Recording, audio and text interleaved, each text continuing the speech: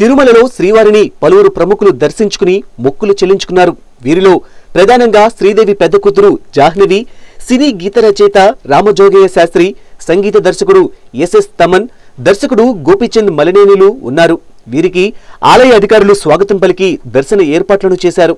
దర్శనం అనంతరం అర్చకులు వేద ఆశీర్వచనం చేశారు. అధికారులు పట్టు వస్త్రంతో సత్కరించి తీర్థ ప్రసాదాలను అందజేశారు